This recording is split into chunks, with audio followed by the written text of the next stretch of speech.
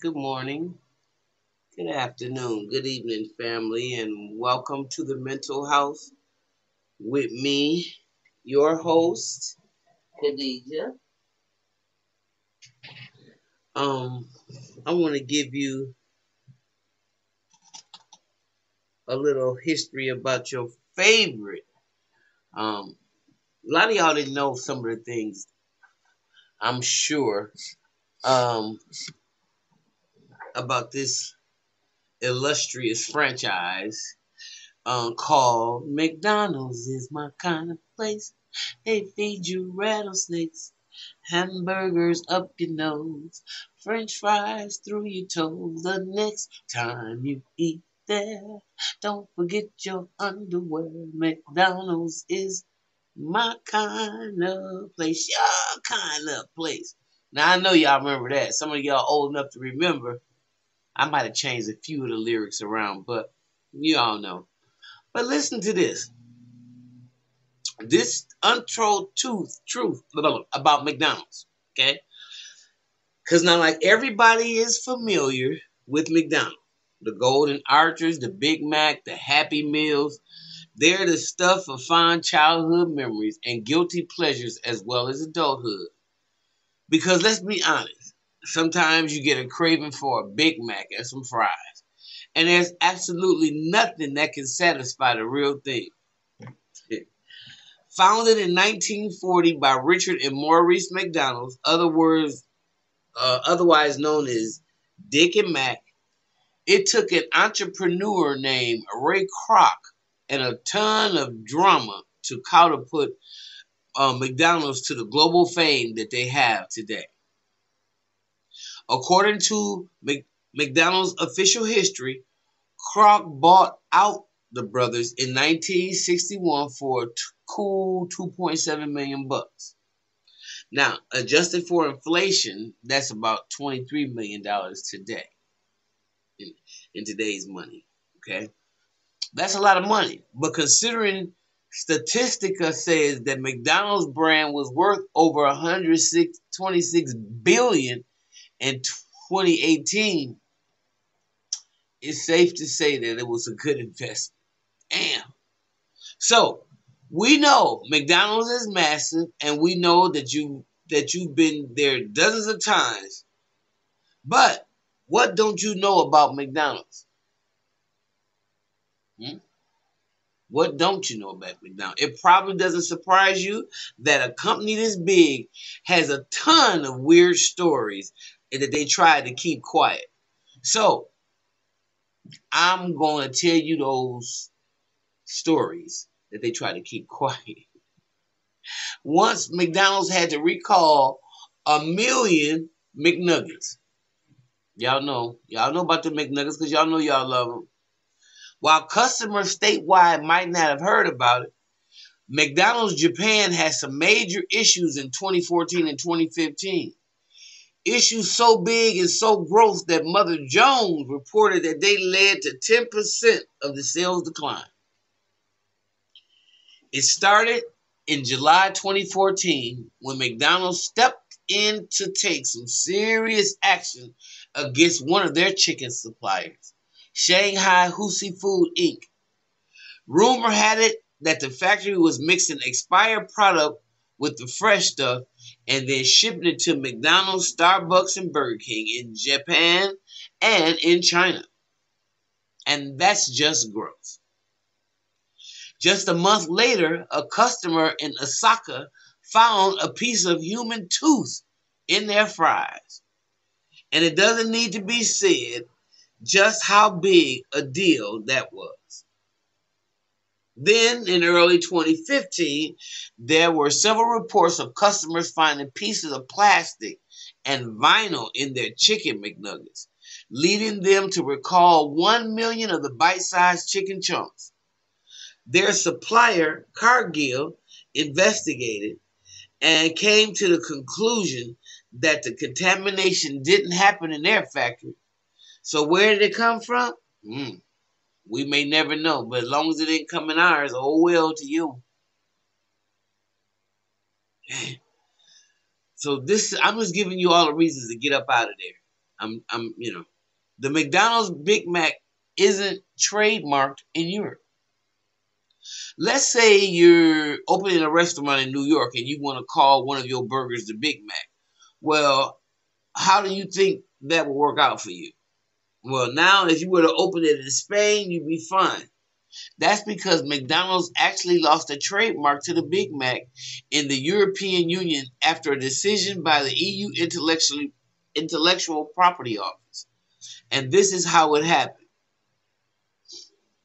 The Guardian says that it was in the 1960s that Pat McDonald, McDonough, or Mc, McDonough, was given the nickname Super Mac during a football match in Ireland's county Westmeath.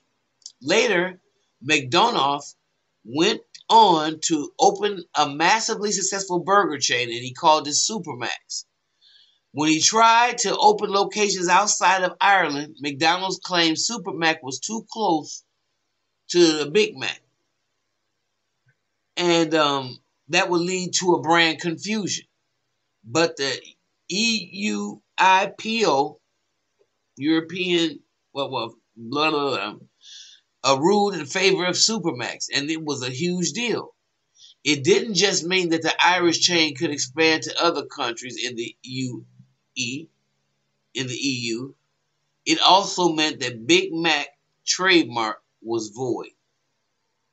And that's huge, especially considering the number of lawsuits McDonald's had previously filed and won. They even prevented a dentist from opening a practice called McDental and a Singapore off, uh, coffee from getting uh, the trademark McCoffee. Wow. Now a different precedent has been, has been set. McDonald's is the world's biggest toy distributor. Wow. How about that, Leo? McDonald's isn't just about food. And if you have fond memories of opening up your Happy Meal to see what kind of toy you got, you're certainly not alone. Many Happy Meals made their debut in 1979.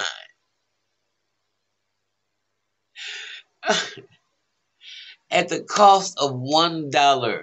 I remember that. My friend used to call them crappy meals. And they've been a popular staple ever since. So popular, in fact, that the Motley Fool says that in 2004, they typically accounted for about 20% of the sales. And that made McDonald's the largest toy distributor in the world. And that's incredibly valuable. Win the hearts of your of kids, and not only do you get your their parents' attention, but you got customers for life. Hmm. Happy Meals are changing with the times, though. In 2014, the Atlanta reported that because McDonald's UK ran a promotion that offered codes for ebooks instead of toys, it made them temporary, at least the largest book distributor in the uh, UK. You see, they can use their um, powers for good. Now, isn't that wonderful? They had people actually reading. Here's a fun fact Yes, some of those McDonald toys are worth a decent amount of money. According to Mental Floss, if you have any of the late 1990s era McFurbies, any of the early Diener Keshi figures from the late 70s and early 80s, and any of the Monster Inc. toys or full sets of the Minions um, or the 101 Dalmatians, you can earn yourself a little bit of cash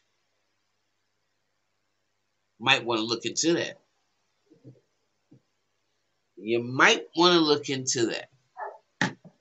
Um, that's just like I got a card collection, um, a basketball card collection, and I really, really want to look into what am I um gonna do with these particular items and uh how to get you know get rid of them. What kind of show? Where do I go with them? Uh, McDonald's is huge and they're everywhere. But there's really, uh, here's a, the really surprising thing. They're historically not the largest fat, fastest food uh, chain in the world. Um, not by a long shot. First, a bit of a disclaimer. It's hard to give exact numbers because so many locations are opening and closing all the time. So let's talk about 2017. According to CNBC, McDonald's was only the second largest chain in the world. As far as uh, physical locations go, um, they was second. Um, and while they had 37,241 restaurants, they were handily beat out by Subway and their 43,912 locations. Starbucks was a surprisingly distant third, trailing with their 27,339 stores. Mm. But that's a bit deceptive because when it comes to sales uh, growth, Starbucks and McDonald's were miles ahead. And now, let's talk about 2018 and stores that in the US only. According to the Business Insider, Subway was still at the top of the pile with around 25,800 domestic locations. But Starbucks had recently passed McDonald's, opening 14,300 stores in comparison to McDonald's roughly 14,000. So, you know, go figure. And basically, McDonald's really doesn't make their money selling food. At a glance, McDonald's makes and sells food, right? So that must be how they make their money. Right? Well, no, not quite. They found that a large percentage of their profits not comes from Big Macs and fries, but from real estate. Part of their franchising strategies involves buying the land the restaurant will be on and then leasing the plot to the franchisee. Wow. Um, and about 85% of McDonald's locations are run by franchisees. More than that, they are often they often lease the properties at massive markups that mean even um, though there is an average, McDonald's makes around 2.7 a year. The average take-home pay for the franchise owner is just about 154,000 a year. Around 22% of the profits go into rent and the numbers are just staggering. Wow. As of 2016, McDonald's held about 30 billion worth of real estate, and that netted them an annual profit of 4.5 billion. Talk about a brilliant business plan, will you? The cost of doing business for McDonald's is shocking. If you ever thought um, about running a McDonald's franchise and you think it might be for you, then here's some pretty shocking behind the scene numbers that might make you think twice. Starting with the fact that the Business Insider reported that McDonald's requires each one of their new franchisees to have 750,000 in liquid assets available before they'll even consider you. Startup costs can range uh, anywhere between 858,000 and 2.2 million and that includes everything from construction to kitchen equipment and um, signage. Franchisees are responsible for paying 40% of that with non borrow cash, though they do allow you to borrow the rest. Then the franchisees pay um, 45000 franchise fee as well as a 4% of gross sales every month along with the rent. They're also responsible for any upgrades that need to be done to the restaurant to keep it in line with the other locations. And some of those fees are pretty shocking. Create Your Taste kiosk will set you back $125,000. A cafe McCafe espresso machine is a whopping thirteen thousand. And upgrades to the interior can run up a bill as high as six hundred thousand.